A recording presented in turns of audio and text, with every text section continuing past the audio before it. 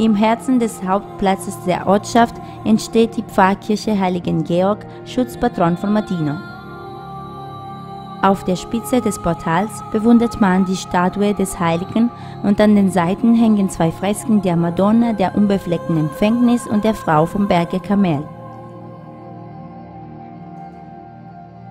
Das Gebäude hat einen kreuzförmigen Grundriss und um den gesamten Rand stehen die Kapellen und die Seitenaltäre, die vom wertvollen Stuck und von Pigmenten verziert sind.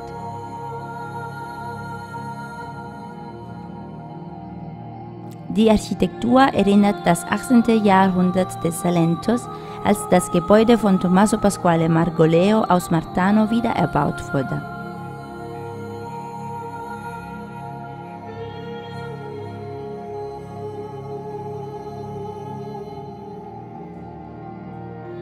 In der Nähe des sogenannten Bogens des Midlands entsteht die gleichnamige bruderschaftliche Kirche, die seit über einem Jahrhundert von der gläubigen Gemeinschaft der heiligen Jungfrau der Fürbitte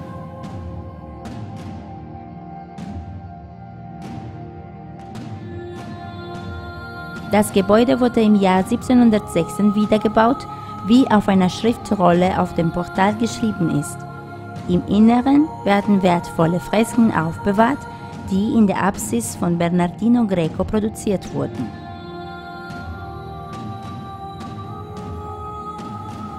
Martino hatte einst ein wichtiges Dominikanerkloster.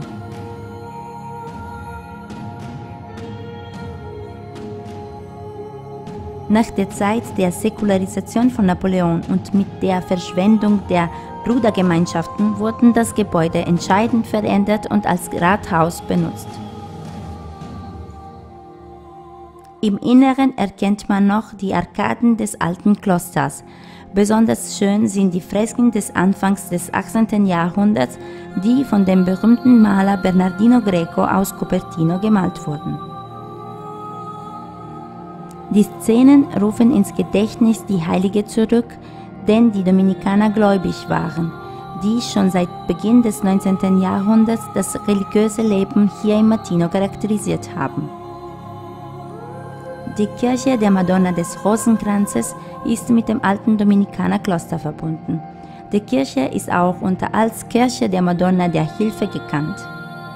Wichtig ist die aus dem 18. Jahrhundert stammende Fassade des Gebäudes, die die typischen Rocaille-Ornamenten der Zeit zeigt.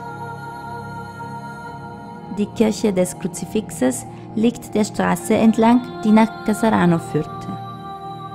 Die Fertigstellungsarbeiten des Gebäudes gehen vermutlich aufs Ende des 17. Jahrhunderts zurück.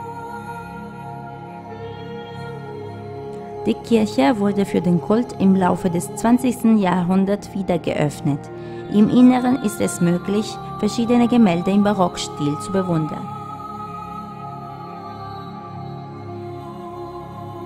Das Heiligtum der Schmerzenmutter wurde in der Hälfte des 18. Jahrhunderts dank der Bemühungen der Gläubigen und der sogenannten Brudergemeinschaft der Sieben Schmerzen gefertigt.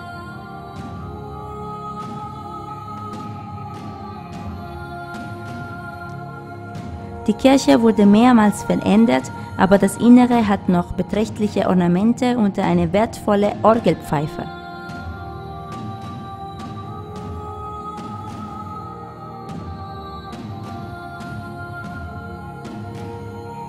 Die Kirche des Karmel liegt auf der Spitze der Ortschaft.